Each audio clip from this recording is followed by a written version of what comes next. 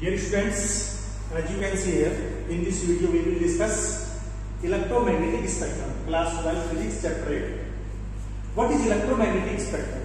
जो total energy है the energy coming from sun उस टोटल एनर्जी को वेवलेंथ के पर्टिकुलर ऑर्डर में रखना मीन डिसेंडिंग और असेंडिंग या फ्रीक्वेंसी के डिसेंडिंग असेंडिंग ऑर्डर में अरेंज कर देने को डिस्ट्रीब्यूट कर देने को हम इलेक्ट्रोमैग्नेटिक स्पेक्ट्रम कहते हैं जैसा लिखा हुआ है the orderly distribution of of electromagnetic radiation according to their wavelength or frequency is called spectrum अब कौन कौन है ये है increasing current increasing order of wavelength decreasing order of frequency gamma rays X rays UV and light specially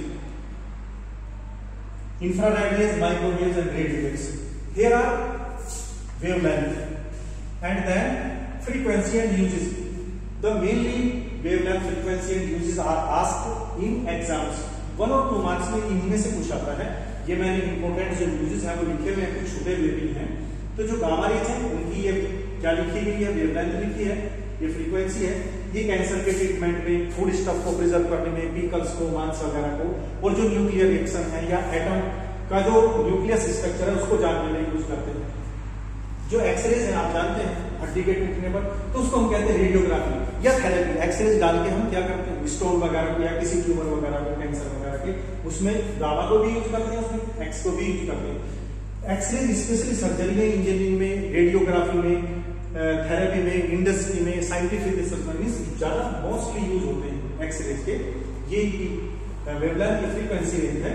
इसी तरह से ultraviolet UV rays की वेवलेंथ फ्रीक्वेंसी रेंज और कहा मॉलिकुलर स्ट्रक्चर में बर्जल आराम बैक्टीरिया को किल करने में सर्जिकल जो इंस्ट्रूमेंट है, उनको प्यूरिफाई करने में वाटर प्यूरिफायर में सर्जरी में भी इनको यूज़ करते हैं अल्ट्रा वायलेट रेज को।